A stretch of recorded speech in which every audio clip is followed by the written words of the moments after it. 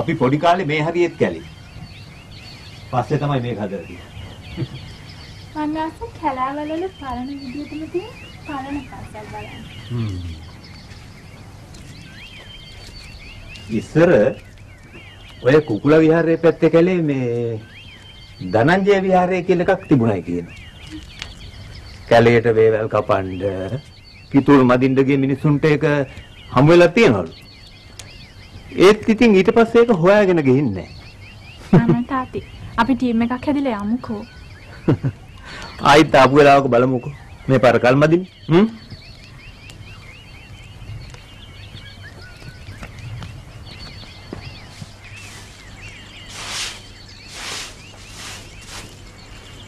අයියා මේ ගෙවල් පැත්තේ යමින් ගමන්ද? ඔව්. මම මේ ලොකු හාමුදුරන්ගෙන් ගත්ත පොතක් දීලා යන්න කියලා. හරිද? එහෙනම් යන්න නැන්ද? මේ රෝසු නෝනලා සුදු මහත්තයා. ඇමරිකාවෙන් ඉඳන්ලු ඇවිත් තියෙන්නේ. මේ සුදු මහත්තයා දෝනියෙන්ද? ඉතින් මේ මාමා කවුද කියලා කිව්වේ නෑනේ. මේ මගේ අයියන්නේ. පුංචි කාලේ ඉඳන්ම රෝසියලා අපි ඉතින් එකට තමයි හැදුනේ වැඩුනේ. එහෙනම් අයියා. මේ මාමත් ඒ පැත්තේ යනවනේ අයියා. මං ගෙදරලට ගිහිල්ලා අරලවන්න. නෑ. මට තව වැඩක් තියෙනවා. හොඳයි.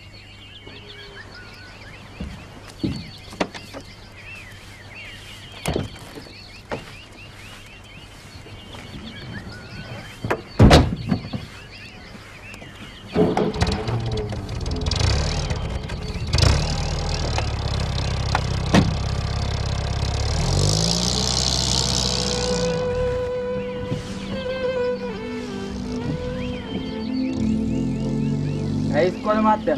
සැපට කාර් එකේ යන්න තිබ්බනේ. අනේ මට ඔය ඇමරිකන් කාරයන්ගේ කාර් නැතුවට පුරුදු පාද යාත්‍රාව හොඳයි.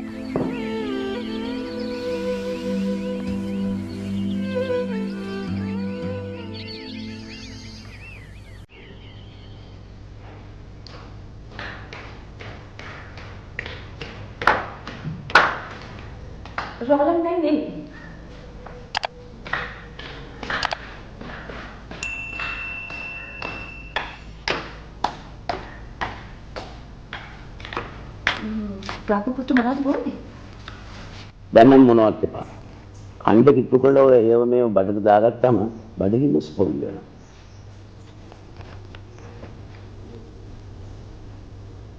මම ඔය තනින් හම් වෙනකන් හිටියේ කතා කරන්න. මේ දැන් ඔය කරන්නේ ડોකියුමන්ටරි එකට ඔය ගමේ කතා අර අම්මලාගේ අර මේවා ඒව හැම දෙයක්ම ඕනේද?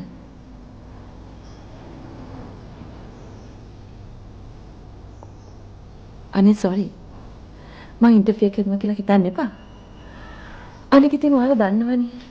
මෙයා පොලිටික්ස් කරන්න ආවේ මගේ ෆැමිලි එක නිසා කියලා.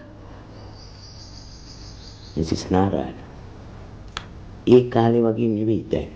වෙනස්. ඔයගොල්ලන්ගේ තාත්තලා පොලිටික්ස් කරන කාලට වඩා හුඟක් වෙනස් දැන්. ඒ හින්දානේ අපි දැන්ම ඉඳලා මෙයාගේ ඉමේජ් එක බිල්ඩ් අප් කරගෙන යන්නේ. ඉතින් ඔය ඉමේජ් එක හදන්න ගමේ කතා අවශ්‍යමද? මෙයා educated, well connected, capable, honest.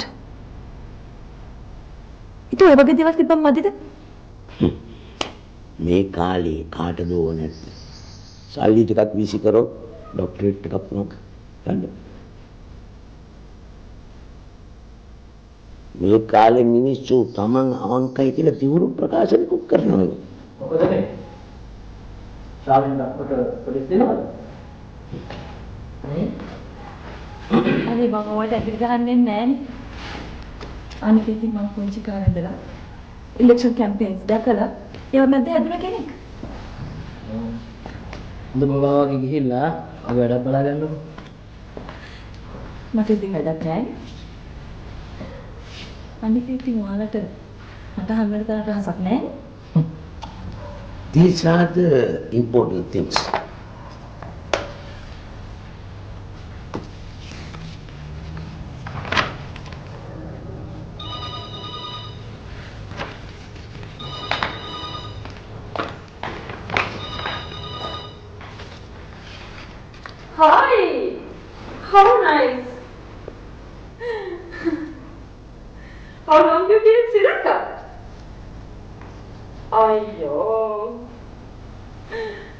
Just a week.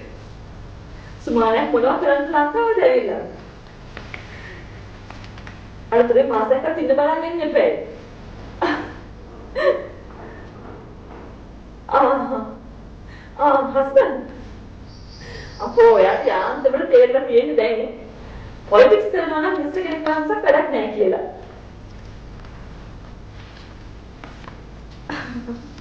oh. Can I call you back? Okay. Okay, bye.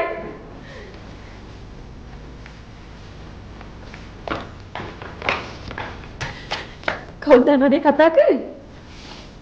කවුරු හරි වාගේ කොෆි මෝර්නින් නෝනා කෙනෙක් හරි නැත්තම් ඕල් ගර්ල් ඇසෝසියේෂන් එකේ කෙනෙක් හරි වෙන්නේ. නෑ නෑ වැරදි. එයා ඉස්සර අපේ නේබර්. මිනිස්ටර් වීරබන්දුගේ දුව. අපි දෙන්න පුංචි කාලේ එකට ශ්‍රී ලංකාවේ. වීරබන්දුලා ඕගොල්ලන්ගේ ෆැමිලි ෆ්‍රෙන්ඩ්ස්ලාද? ඔය දැන් අහකට වෙලා හිටියට අපි ගිහිල්ලා කතා කරොත් මිනිහාගේ පොඩි ප්‍රයෝජනයක් ගන්න පුළුවන් අපේ මේ වැඩේට. බ්‍රහ්ම පුත්‍රයෙක්ම තමයි. කාගෙන් හරි කමන්නේ ප්‍රයෝජනයක් ගන්න බලා. මේ වැඩ එහෙම නුකර බෑ. ඒකනේ මං කිව්වේ ප්‍රොෆෙසර් නන්දිමිත්‍ර ස්ටේට්ස් වලට යන්න ඉස්සෙල්ලා එයාගේ වොයිස් කට් එකක් ගන්න ඕන කියලා. එහෙම නුකර බෑ.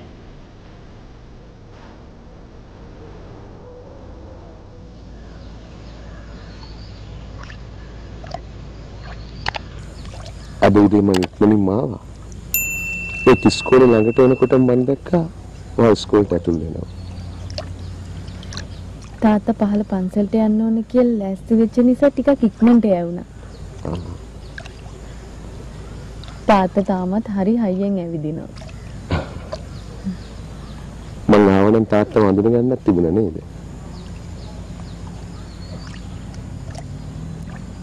මේ දවස්වල තාත්තගේ මූඩ් එක හරි නෑ. මං හිතන්නේ තාත්තා ගමට ආවට තාත්තේ හිතේ තිබුණ ගම දැන් නැති හින්දාද දන්නෙත් නෑ. ඒ කාලේ මේ ගමේ තිබුණේ මැටි ගෙවල්. දැන් ඒව නැහැ. දැන් ඒ වෙනුවට ඉන්න මිනිස්සු දවසින් දවස මැටි වේගෙන යනවා. ඒ කියන්නේ ස්වර්ණසිංහ වගේ කෙනෙක් ඉඳලත් ගමේ මිනිසුන්ගේ ඇස් පාදන්න දෙයක් උන්නේ නැහැ කියන එකද? අපි ඒ කාලේ කරේ ඒ කාලේදී අපිට හරි කියලා හිතපු දේවල්. ඒ කාලේ කොල්ල කට්ටිය අපේ ගෙදරට රැස් වෙලා රට හදන හැටි කතා කරනවා. මයිදිනේට ගහන්න ලොකු බැනර් රඳිනවා. රාව එළි වෙනකන් පෝස්ටර් රඳිනවා. ඔයගොල්ලෝ ඒ දවස්වල හරි සන්තෝෂෙන් ඉන්නේ නැතිනේ. ඒ කට්ටියෙන් දැන් ඉතුරු වෙලා ඉන්නේ මේ ගමේ මං විතරයි. හුඟක් කා නැතුනේ අපි චූටි මල්ලිගේ පක්ෂේ. ඒක මට හිතට අමාරුයි.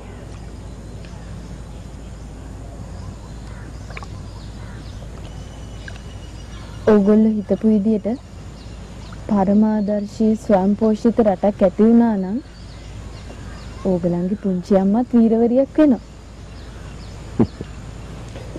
මම නම් හිතන්නේ අපි පුංචි අම්මා කොහොමත් වීරවරියක් කියලා. කෝ තාමත් මට ඇත්ත එක කතා කරන්න බැරි වුණානේ. ඉතින් අපි අද යන ගමන් යමු. අද බෑ. වෙන දවසක යන්න. තාත්තා මග බලාගෙන ඇති. අම්මා ඉන්නකොට වගේ නෙමෙයි. තාත්තට මං එනකන් හරිම පාළුයි. ඒ අපි ලොකු අයියා තාම ආපුවාම පුංචි අම්මා කියනවා සුදු මාත්තු මූලකට හොදගෙන ඇවිල්ලා ඔය තියෙන මොන හරි කාපන් කියලා. චුටි මල්ලි ඔය ලොකු ජීප් වලින් ඇවිල්ලා බැස්සට මුංචි අම්මා තාම කියන්නේ අර දවල් ඉතුරු වෙච්ච බත් ඇති දෙතොන්නම් මං කවන්නම් කියලා. මාත් දවසක එන්නම්කෝ. පුංචි අම්මට කියලා බත් ටිකක් කවාගන්න.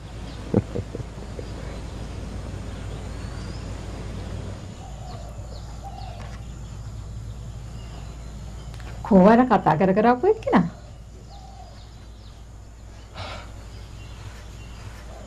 අක දැන් ආවේ. ආපු වෙලාව අහන්න කලින් මං අහපු ප්‍රශ්නෙට උත්තරයක් දීලා ඉන්නකෝ.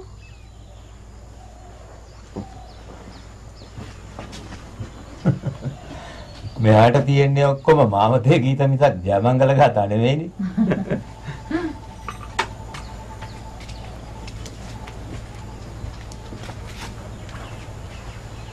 අපේ ස්ටාෆ් එකේ තිබ්බ හොඳ ටීචර් කෙනෙක්. ඔය කේන්දර බැලිල්ල හින්දාම දැන් 35ක් විතර ඇති. කොහෙද ඉතින්? මේකගේ හැටියට කතා කරන්න බයයිනේ. මල්ලි අදත් ආවේ අරයා එක්කද? කවුද මන් නොදන්න අරයා? දෙන්නා දන්නේ ඕගොල්ලෝ වැටිච්ච වලේ මාවත් දාන්නද? ඈ? සුදුමාත් ඇමරිකාවෙ ඉඳලා ආවට තාම හිතන්නේ 19 වෙනි සතවර්ෂ විදියටනේ. කොහේ ගිහින් ආවත් අපේ ගෙදරට ආවම අපි පරණ විදියමයි.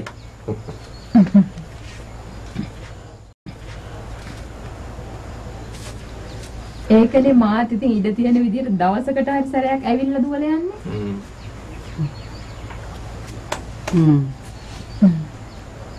සුදු මහත්තයා ඉතින් මේ වන් ගියා පව් ගෙහුම් මම මැරෙන්න කලින් ආවොත් හොඳ පුංචි අම්මට කලින් මං එයි. ඒකනේ මං හැමදෑම කියන්නේ ඒ ගිහින් රවුමක් ගහලෙමු කියලා. මාත් පොන්චි අම්මට කියන්නේ ඒකනේ. ඒ ගිහිල්ලා සේරම සැප සම්පත් විඳගෙන ඉන්න ඕන. මේ පුරුදු හීල් හෙවනේ ඉඳගෙන හීතල වතුර ටිකක් නා ගන්නවට වඩා සැපක් මුටද. ඒ බාල මහත්තයා ගියොත් ඉතින් මටත් එක්ක රටතොට බලාන එන්නේ නැතයි. මට කියන්න තියෙන්නේ ඉතින් පුංචි අම්මා කියපු ටිකම තමයි. එහෙනම් මම නාගෙන ඉන්න.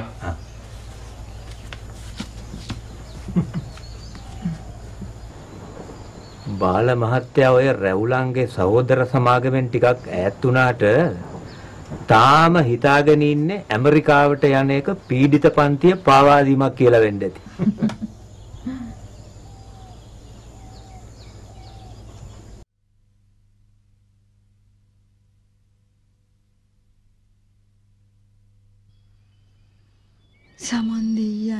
යන්නේ දලදා හාමුදුරුවන්ගේ පිහිටයි කියලා හිතාගෙන එකොටට පීනපම්මයි පුතේ. ගඟටවත් නොදැනෙන්න පීනපංමයි රත්තරනේ.